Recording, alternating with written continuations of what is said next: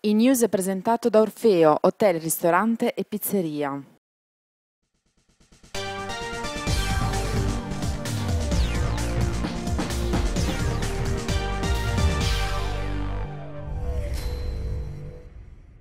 Buongiorno dai news web TG della città di Fano. Alberico Sanchioni si lamenta sullo stato in cui versa ogni fine settimana il chiostro di Santa Teresa. Ogni fine settimana il chiostro di Santa Teresa viene ridotto in uno stato indecente. Alberico Sanchioni, cittadino fanese residente nelle vicinanze del chiostro, esorta l'amministrazione comunale ad intervenire per risolvere il problema. Nonostante le proteste dei residenti, continua Sanchioni, non si sono presi provvedimenti per evitare le distese di bottiglie rotte e sporcizia varie all'interno del chiostro. Visto che il prossimo anno ci saranno le elezioni amministrative, sarebbe opportuno che i vari candidati e partiti inseriscano nei loro programmi una serie di provvedimenti per risolvere questo questo gravissimo problema e fare in modo che non si arrivi al punto di non ritorno. Dal 18-19 novembre si amplia a Fano la raccolta differenziata porta a porta.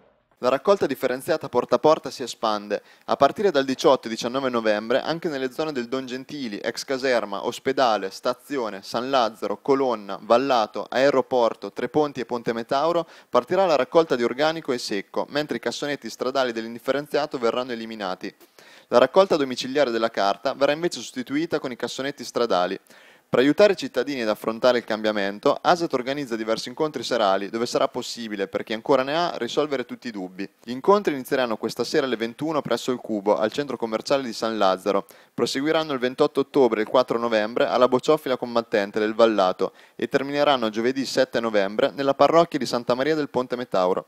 Oggi l'ultimo giorno valido per iscriversi a Chef in the City, la sfida tra i fornelli della città di Fano. Oggi è l'ultimo giorno utile per iscriversi a Chef in the City, l'iniziativa culinaria che decreterà il primo chef amatoriale della città della fortuna. Iscriversi è facile, basta presentarsi negli uffici di anteprima, agenzia organizzatrice dell'evento, in via Nolfi 56 entro le 18.30 di oggi, sottoscrivere il regolamento e versare la quota di partecipazione di 15 euro. Da domani invece gli sfidanti potranno pensare a come conquistare la giuria tecnica durante la preselezione che deciderà chi saranno gli otto sfidanti di Chef in the City City, che dal 12 novembre si daranno battaglia in quattro ristoranti della città per aggiudicarsi lo scettro di chef amatoriale dell'anno. Presentato il nuovo logo del liceo artistico Apolloni, realizzato da Renato Buono dell'Accademia delle Belle Arti di Bologna.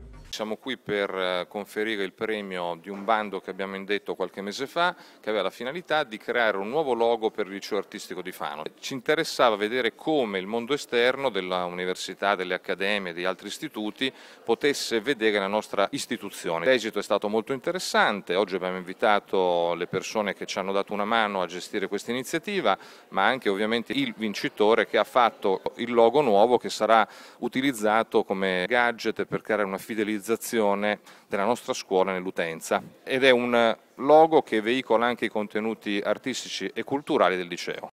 Questa era l'ultima notizia, il news torna oggi pomeriggio alle 18.30. Buona giornata!